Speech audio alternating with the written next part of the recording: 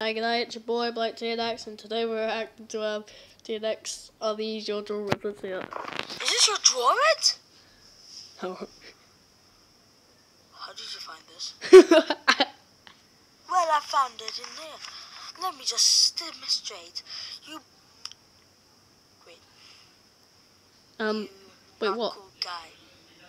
Don't you, don't, don't uh. think. Lou is the imposter.